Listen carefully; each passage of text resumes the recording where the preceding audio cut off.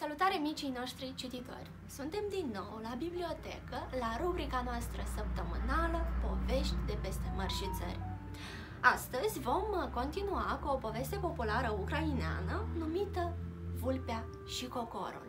Să descoperim! Trăia odată o vulpe și un cocor și erau ei buni prieteni. Într-o bună zi, vulpea îl pofti pe cocor în ospeție.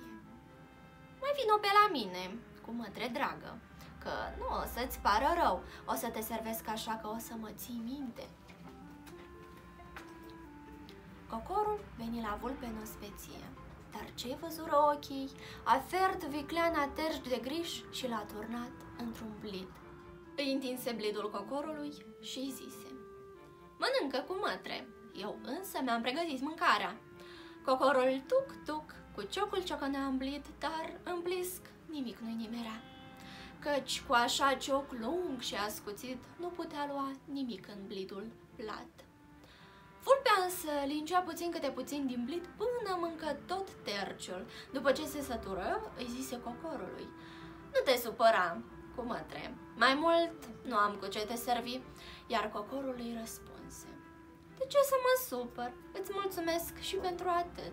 Te invit mâine la mine în ospeție. A doua zi se porni vulpea la cocor.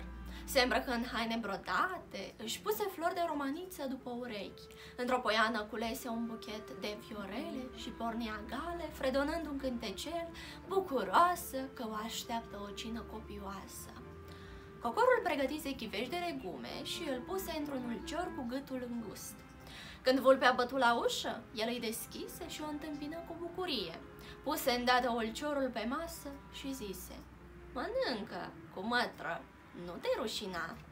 Vulpea se tot învârtea în jurul ulciorului, ba dintr-o parte, ba din alta, ba din cealaltă, ba îi lingea marginea, ba îl mirosea, dar nici de cum nu putea ajunge la mâncare. Sărmana vulpiță, de foame și de sete înghițea în sec, căci năsucul ei scurt nu putea intra prin gâtul lung și îngust al ulciorului. Cocorul însă își băgă ciocul în ulcior și ciugulind încetișor mânca tot ghiveciul. După ce se sătură, îi zise vulpii, Nu te supăra, cu mătră dragă, dar mai mult nu am cu ce te servi. Vulpea, fiind mândră de fire, nu spuse nimic, dar se aprinse de ciudă că un prostănac de cocor a păcălit-o pe ea și reata. Se supără foc vicleana, căci ea crezu că, venind în ospeție, se va sătura pe o săptămână înainte, dar se întoarse acasă flămândă și furioasă. Prinse roșcovana o ciudă zdravănă pe cumătrul său, cocorul, încât nu mai avea ochi să-l vadă. De atunci se strică prietenia lor, deoarece nici cocorul nu mai vroia să aibă de-a face cu vulpea cea vicleană și lacomă.